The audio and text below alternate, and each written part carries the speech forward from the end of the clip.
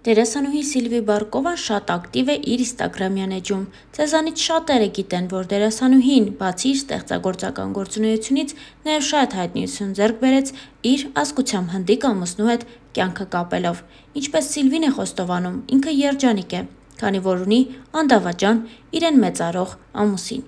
Երեք դերասանուհին իր Instagram-յան էջում մի գրառում է արել ու խորհրդով է հանդես եկել, որը ներկայացնում ենք ձեզ։ Նա գրել էր հետևյալը. Իմ ամուսնական կյանքի այս 5 տարիների ընթացքում ես մի քանի բան հասկացա երջանիկ կյանքի գաղտնիքի մասին։ Կիսվեմ, երևի քեզ պետք կգա։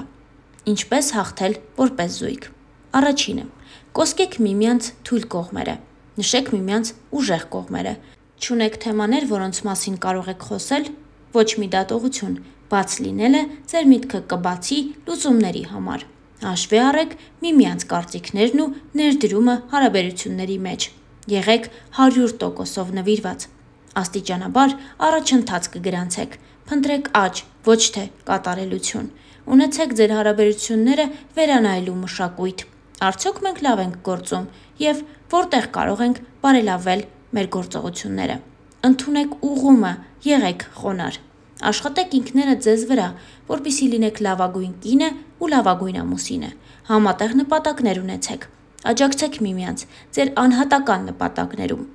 Միմյանց առաջնահերթություն տվեք, նույնիսկ եթե ընկերներ ունեք։ Միասին շնորհակալություն հայտնեք Աստծուն։ Շնորհակալ զույգը հզոր զույգ է։ Մի մրցեք միմյանց հետ։ Ձեր ամուսնության մեջ բերեք այն դասերը կամ հնարավորությունները, որոնք դուք սովորում եք։ Սովորեք միասին։ Եղեք համբերատար։ Որոշ հաղթանակներ ժամանակ են պահանջում։ Երբ դուք ընկնում եք, թե որպես զույգ, թե առանձին, բռնեք միմյանց։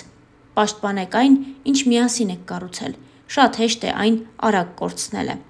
Վերահսկեք ձեր բնավորությունը։ Բարկության պահերին շատ վատ ընտրություններ են կատարվում եւ մի կրկնօրինակեք այլ զույգերի, ստեղծեք ձերը։ Նշել էր Սիլվի Բարկովան։ Դե ինչ, Հուսով ենք դերասանուհու խորհուրդները օգտակար կլինեն նաև ձեզ համար։ Դե իսկ մենք առաջարկում ենք դիտել նաև մի քանի այլ ընտանեկան լուսանկարներ, որոնք Սիլվին հրապարակել է իր սոցիալական էջերում։